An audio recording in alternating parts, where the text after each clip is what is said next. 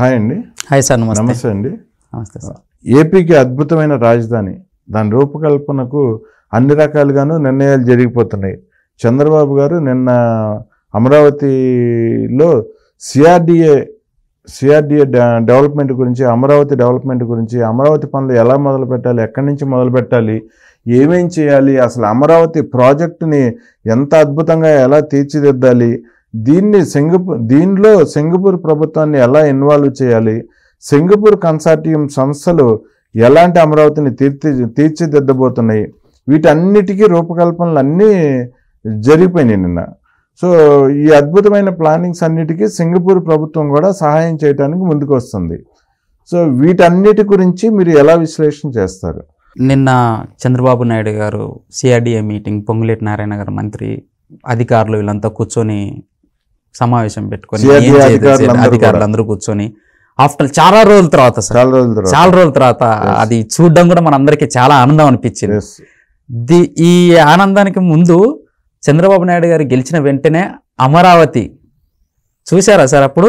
పెద్దగా చాలా అట్లా ఆ రోడ్లు అక్కడే స్టార్ట్ అయిపోయింది అవును. రోడ్లు చెట్లు పెరిగింది క్లీన్ చేయడం అక్కడే స్టార్ట్ అయిపోయింది అమరావతి. పరిగెత్తింది మళ్ళీ రాజధాని నిర్మాణం పరిగెత్తింది అక్కడ నుంచి చెప్పుకోవచ్చు మనం. అవును. అక్కడ నుంచి వైబ్రేషన్స్ మొత్తం చేయకుండా వచ్చిన తర్వాత అదే రైతులు అంటే పూలు చల్లుకుంటూ రాజధానికి తీసుకెళ్ళారు. ఎంత సార్? ముప్పై మూడు వేల ఎకరాలు ఇచ్చారు. ఆ, రైతులు అది చూసాం కదా. సరే ఇప్పుడు పాయింట్కి వస్తే నిన్న మీటింగ్లో సార్ నాలుగు రెండు వందల డెబ్బై ఐదు కిలోమీటర్ల ఔటర్ రింగ్ రోడ్డు. నిన్న మీటింగ్ పొడవైన ఔటర్ రింగ్ రోడ్డు. ఓకే. వంద కిలోమీటర్ల ఇన్నర్ రింగ్ రోడ్డు వంద కిలోమీటర్ల పొడవైన ఇన్నర్ రింగ్ రోడ్డు ఓకే. ఒకటి వెస్టర్న్ వెస్టర్న్ బైపాస్. రోడ్డు ఒకటి east bypass road east bypass road. ఇది అమరావతి చుట్టూ జరిగే రోడ్లు సార్ నిన్న. దేశం తీసుకునేది. ఇవన్నీ ఎక్కడికి? కృష్ణ అది విజయవాడ హైదరాబాద్ నేషనల్ హైవేకి ఇవన్నీ లింకుగా నాలుగు ఇంటర్ ఇంటర్. ఇంటర్ లింక్ రోడ్లుగా అంటే అనుసంధానం చేయడానికి. అమరావతి నగరాన్ని inner ring road outer ring road ఈ హైదరాబాద్ నాలుగు రోడ్లు నాలుగు రోడ్లు వస్తాయి కనెక్ట్ ఇలాగా. చేస్తా. నాలుగు నాలుగు రోడ్లు సార్. Okay. ఇందరింగ్ ఇవన్నీ ఫస్ట్ రోడ్లకి రోడ్లకు సంబంధించింది వెరీ ప్లాన్గా నిన్న సెట్ చేశారు. ఓకే దీంతో పాటు సార్ మనకి గన్నవరం ఎయిర్పోర్ట్ ఉంది.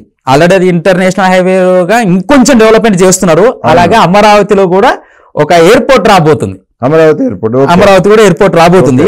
అది కూడా కూడా అన్నారు మీకు ఇంట గన్నవరం ఎయిర్పోర్ట్ నుంచి కరకట్ట మీదుగా అమరావతి. నగరం వరకు four lane Four lanes. Four lane road four lane road అది కూడా. అది కూడా four lane road sir. Okay.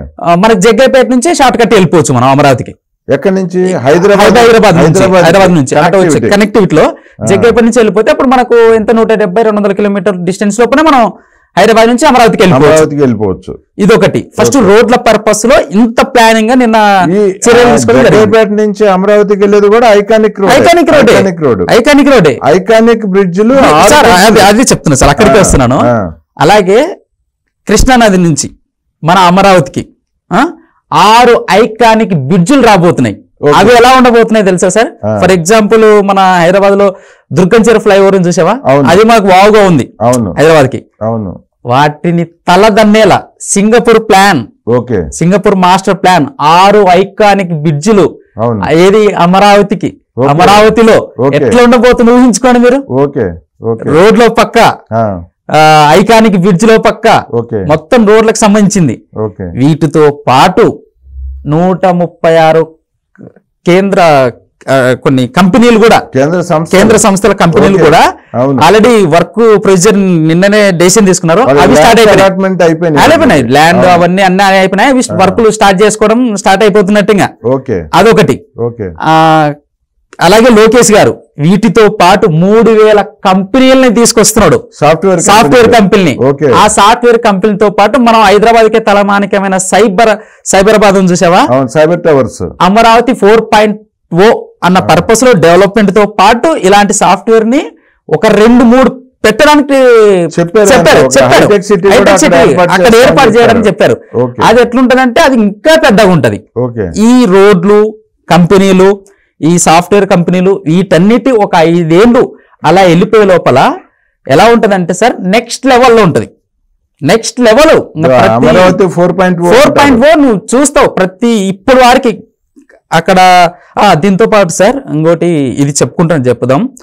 అక్కడ రైతులు ఇచ్చిన భూములు ఇచ్చిన రైతులు సార్ మూడు ముప్పై వేల ఎకరాలు ఇచ్చారు కదా అలాగే గవర్నమెంట్ ముప్పై ఐదు వేల ఎకరాలు. ఇచ్చారు. గవర్నమెంట్ ఇది ఆల్రెడీ ముప్పై వేల ఎకరాలు ఉంది ఇంకా. మొత్తం అరవై ఐదు వేల ఎకరాలు.